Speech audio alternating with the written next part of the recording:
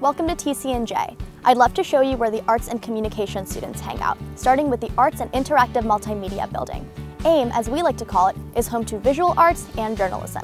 Here we have a photo gallery, an art gallery, sculpture and recording studios, and more.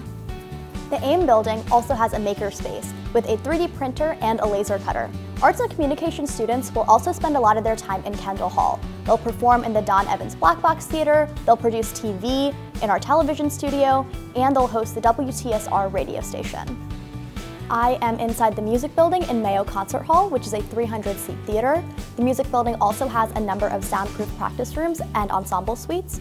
We hope that you will book your audition, but in the meanwhile, please enjoy the rest of the tour.